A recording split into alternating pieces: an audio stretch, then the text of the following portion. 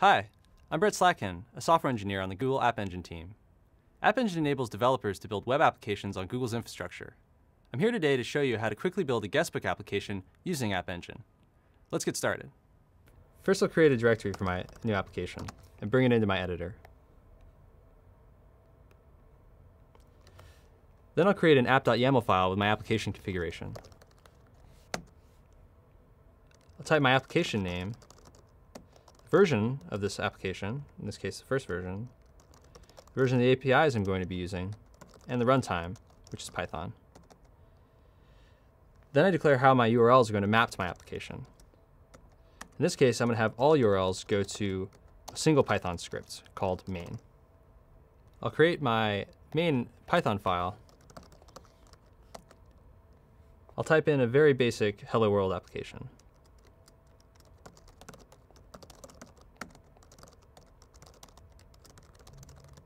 Now I'll go to the terminal and start the development web server. And now that the server is running, I can go and view the Hello World application. Now let's do something more complicated and build a web application. To do this, we've provided a very basic web application framework called Web App. I'll import the Web App module and then define a handler which will handle the requests from application.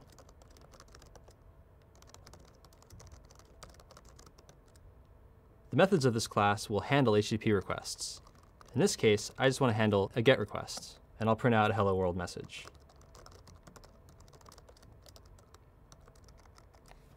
To execute my handler, I'll use WSGI ref, which is Python's standard web application container.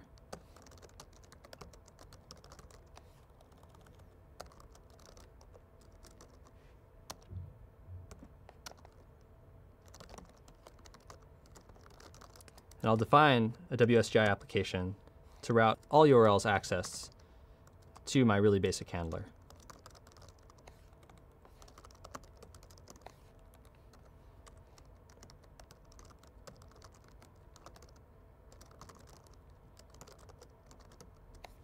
And of course, tell Python to run my main function.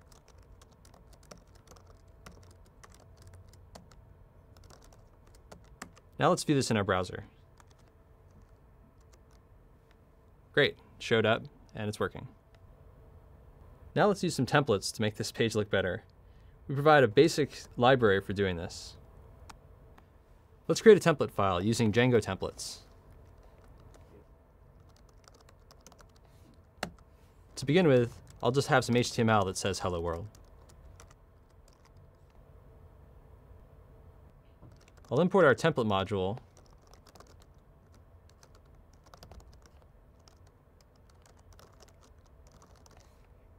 and then render the template.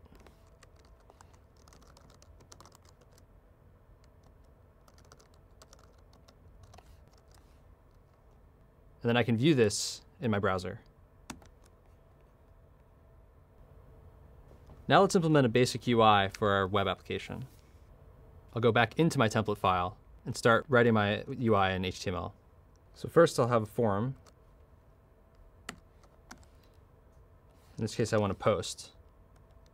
And the form will have a couple of fields. Since it's a guest book, let's start off with just the message I want to have. In this case, it's just a text field with a message. And we'll change the submit button to say shout. And now we can go back and view this in our browser.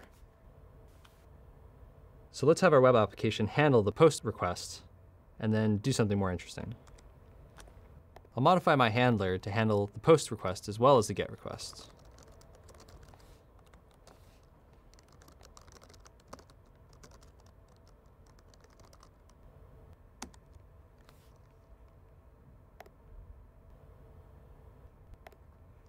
Now let's hook this up to the data store. To use the data store, I'll import the DB module and define a model class that says what fields we'll have to store in the data store. In this case, my model class will be called shout. And I'll have two fields. First, the message, and then the time that the message was left.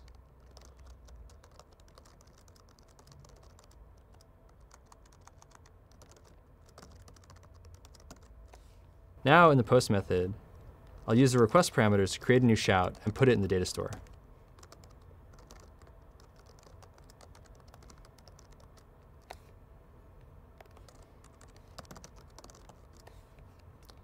Then I'll re redirect the user back to the main page. Then I can go back to my browser and see this is working right now. Now we're handling posts and putting data in the data store, but we're not retrieving it. So let's create a query to get the data back out and present it to the user. To do this, I'll create a gql query.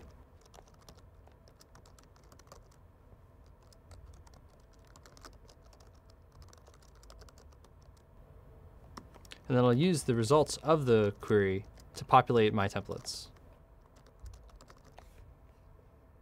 And pass those values into the template renderer.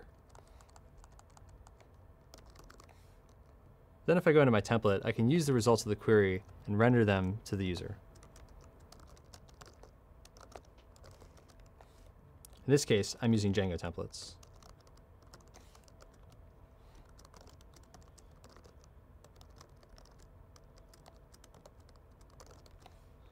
Now I can go back to my browser and see that this is immediately working.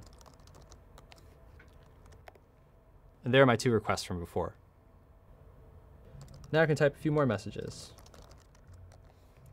You'll see they're not in any particular order, so I'd like to add a sort order to my query.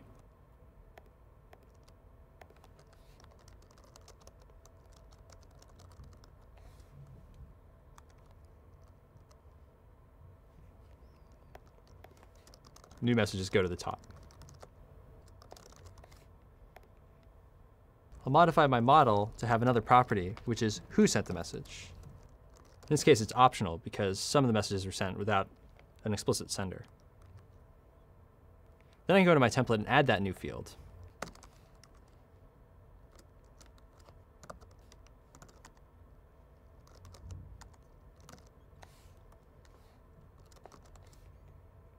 It'd also be good to have labels on these input fields. And then I need to make sure that when I create my shot, I've correctly populated the who field. I'd also like to render who sent each message. So I'll go back to my template and add that too.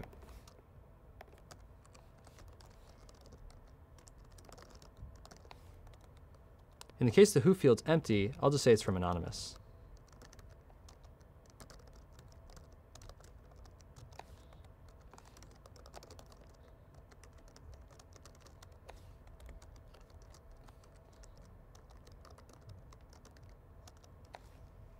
Now let's go back to the browser and see what this looks like.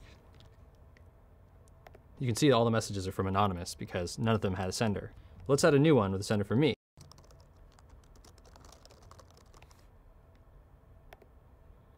You'll see my name's appeared. One last thing I'm going to do is fix the title to point out that this is my application called Shoutout. deploy this application, I'll use the appcfg tool. I'll just type appcfg update to deploy my application, and then the name of the application directory. And we're done. Now I can access this application on appspot.com.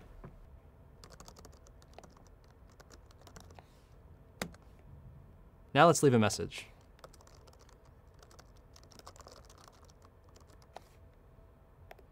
That's it. We built an application and deployed it.